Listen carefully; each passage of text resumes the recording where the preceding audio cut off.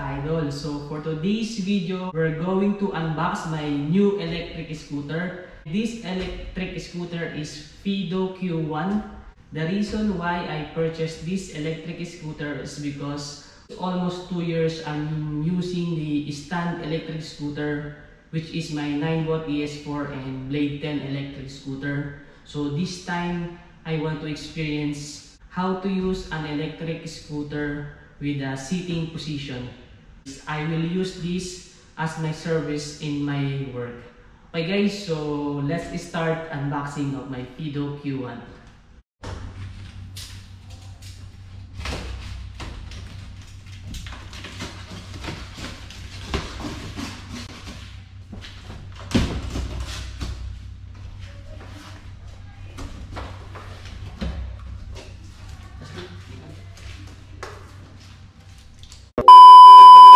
Okay so this is the charger. Okay, so includes charger and then extra tools also. And this is the adapter for the charger.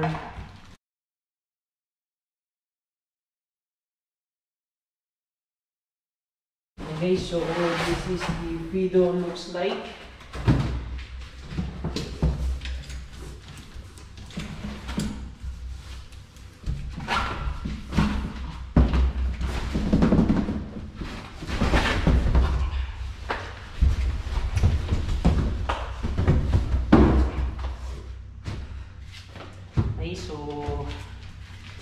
This is my Fido Q1 red color.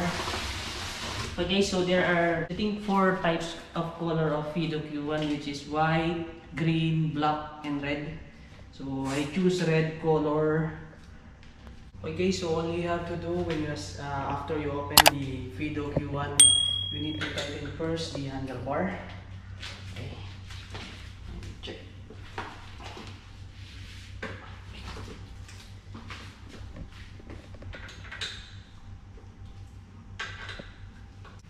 It includes also the basket. I don't know what is this. Okay, so let's check inside. This is Fido bag. Yeah. Okay. Includes also the ring. Okay, and this includes also the padlock. Okay, only this is inside. Okay, so this is the remote key of Fido Q1. So all you have to do to turn on the Fido Q1 is press this button. Okay. Okay guys, so the basic specs of a Fido Q1 is first is this is the motor. The motor is 250 watts with a speed of 25 kilometers per hour. And then the tire the tire size is 12 inches. And this is the mechanical disc brake. Okay? And this is the rear basket. And then, then the saddle. And this is for the children saddle also. Okay? And this is the handlebar. So as you can see in handlebar here there's a lights button. And then horn and then this is the monitor. And then this button is for cruise control. Okay? And then headlight. Okay this is the headlight. Fender. And the frame is uh, metal alloy. So this is the reason why I choose Fido is because very lightweight. It's around 18 kg only. So it's easy to carry in a gutter or in a stairs to lock the handlebar of Fido Q1, all you have to do is like this. Press the lock here and then this is the main lock in order to not uh, open.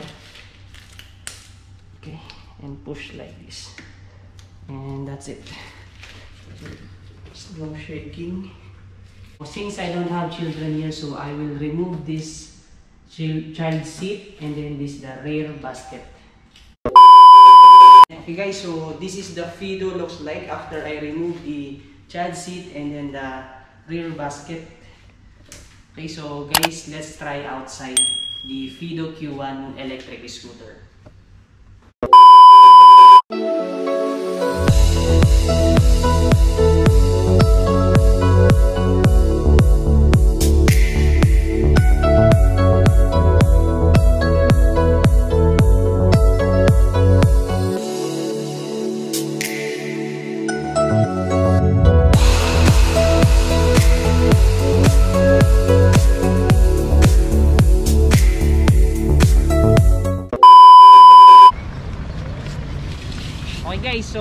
Will ride test now my uh, Fido Q1.